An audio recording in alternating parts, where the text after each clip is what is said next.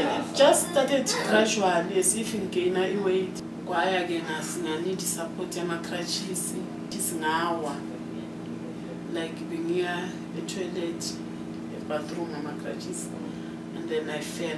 Cela ungi-explainele uthe bowuthola i- i-grant and then your grant has been suspended. They give you any reasons ukuthi why basuspend i-grant i-reason yabo uma ngibuza ngifona bangitshela ukuthi i-reason ukuthi angireviewanga. Ngamangala ukuthi basho kanjani because i did phone sasa ngabo-march april lapho. Ngibazisa ukuthi angikwazi ukuhamba so whatever ekumele yenziwe kumele bazoyenzela la endlini.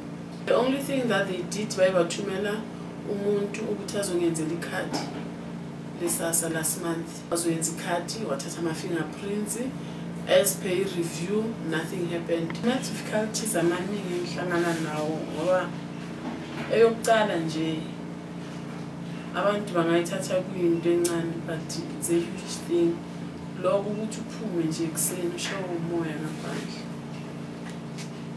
I can't do that. Uphuma nje ubuye lapha ekhishini uzifrayela amacanda ukuthi udle. I can't do that. Kumele ngicashe umuntu osebenzayo la endlini and then ngimbhadale futhi kuyona leyo mali yegrant. Khona manje i'm suffering from major depression.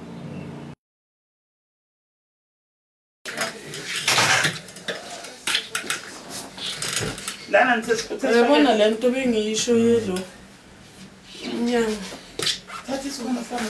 Ngiyamsifake bona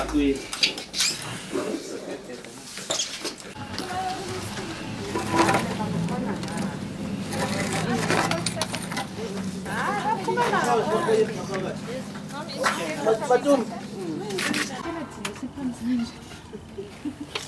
khuluma befana taphungita kusenze